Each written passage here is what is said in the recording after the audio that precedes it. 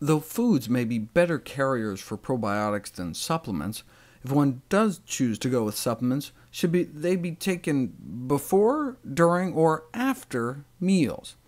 When it comes to probiotic supplements sold in capsules, the commercial literature is often confusing, in that sometimes the consumer is instructed to take the probiotics with meals, sometimes before or after meals, and occasionally on an empty stomach. This has led to serious confusion for the industry and the consumer. Surprisingly, it doesn't appear as if any studies had ever examined this question until now. To be able to measure probiotic concentrations minute by minute throughout the entire process, they had to build a fake digestive tract, fake stomach, fake intestines, but complete with real saliva and digestive enzymes, acid, bile, etc. What did they find?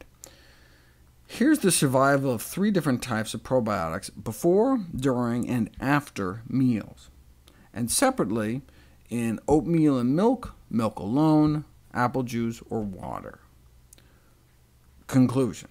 Probiotic bacteria survival was best when provided within 30 minutes before or simultaneously with a meal or beverage that contained some fat content.